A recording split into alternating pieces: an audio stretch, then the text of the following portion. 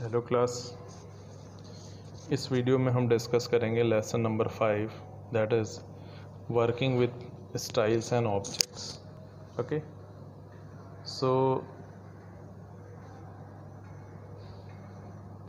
पहले हम ये देख लें कि स्टाइल है क्या।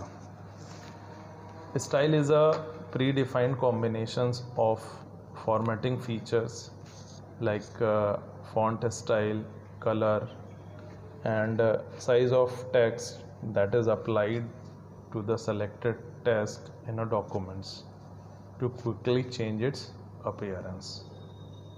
Okay? इसका मतलब ये हुआ कि आपका जो स्टाइल है वो एक प्री डिफाइंड कॉम्बिनेशन है। क्या है? फॉर्मेट का एक प्री डिफाइंड कॉम्बिनेशन है। और किसी पर्टिकुलर स्टाइल में उसकी font style colour size of text वो क्या होगा?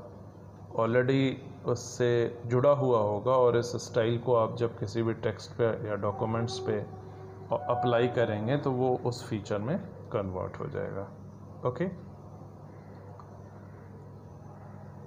वैसे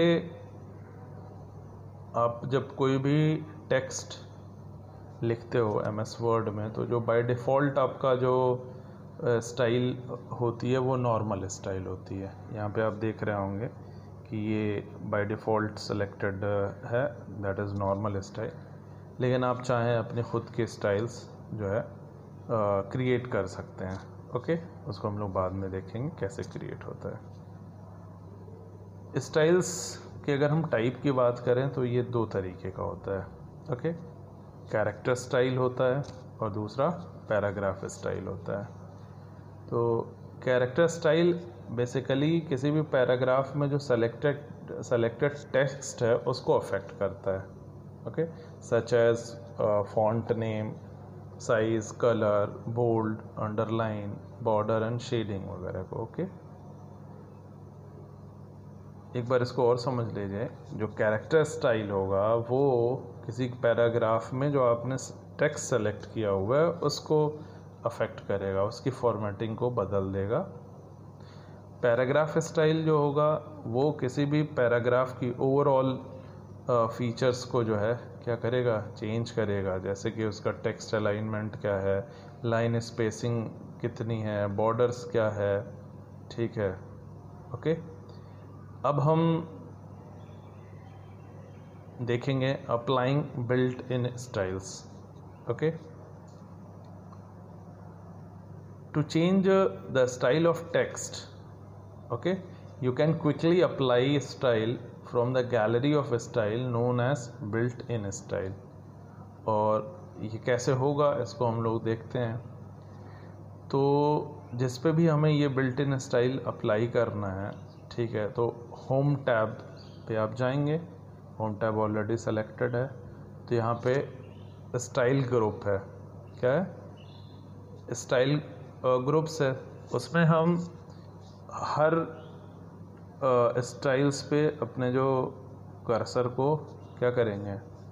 ऐसे मूव कराएँगे। तो आप देखेंगे कि जो स्टाइल है, वो क्या हो रही है? चेंज हो रही है। ठीक है? अब आप जो है, जो style dialogs box launcher button है स्टाइल ग्रुप में, ठीक है? उस पर आप क्लिक करें। तो यहाँ पे आपने जब क्लिक करा हुआ है, ठीक है तो आप जो भी स्टाइल सेलेक्ट करते हैं, वो आपका चेंज होता रहेगा। ठीक है? अब it display the list of built in style, choose the choose the style heading one. तो यहाँ पे ये आपने, ठीक है, हेडिंग वन जो है, सेलेक्ट कर ली। ओके? तो उसके बाद इसको हेडिंग टू है हेडिंग वन आप उसके बाद इसको ऑब्ज़र्व कर लेंगे तो ऑब्ज़र्व करने के बाद आप जो है अच्छा लगे तो उसको सेलेक्ट कर लीजिए ओके अब मान लीजिए आप कोई नई स्टाइल क्रिएट करना चाह रहे हैं, क्या करना चाह रहे हैं? अपने अकॉर्डिंग नई स्टाइल क्रिएट करना चाह रहे हैं। तो उसके लिए आप जो है होम टैब में जाएँगे, उसके बाद जो स्टाइल डायलॉग बॉग लॉन्चर है स्टाइल ग्रुप में उसको आ, क्लिक करेंगे तो यहाँ पे आपने इसको जब क्लिक करा तो ये चीज़ निकल के आएगी। पहले हम टेक्स्ट को सेलेक्ट कर लें ठीक है? सेलेक्ट करने के बाद अब इसको जो है हम ठीक है न्यू स्टाइल पे क्या कर रहे हैं? क्लिक कर रहे हैं। क्या कर रहे हैं? न्यू स्टाइल पे क्लिक कर रहे हैं। तो आप जैसे इसको, इस स्टाइल को नाम देना चाह रहे हैं कुछ भी दैट इज़ मान लीजिए कि कुछ भी नाम दे दीजिए गुड और स्टाइल टाइप आप कैरेक्टर रखें, क्या रखें? कैरेक्टर रखें। तो जब कैरेक्टर रखेंगे तो यहाँ पे आप फॉर्मेटिंग में आके कुछ टाइम्स न्यू रोमन रख लीजिए, इसकी जो फ़ॉन्ट साइज़ है एटीन कर लीजिए, इसको बोल्ड कर लीजिए, और उसके बाद ओके कर दीजिए। ठीक है? तो आप देखेंगे कि यहाँ पे एक आपकी अपनी ख़ुद की स्टाइल जो है, यहाँ पे क्रिएट होके आ चुकी है। तो आप कोई से भी टेक्स्ट को, जिस पे भी आपको ये स्टाइल अप्लाई करना है तो आपको कुछ नहीं करना है। उस टेक्स्ट को सेलेक्ट करिए और करने के बाद जो है, उस पर अप्लाई कर दीजिए। ओके तो ये था आपका जो है क्रिएटिंग अ न्यू स्टाइल के बारे में।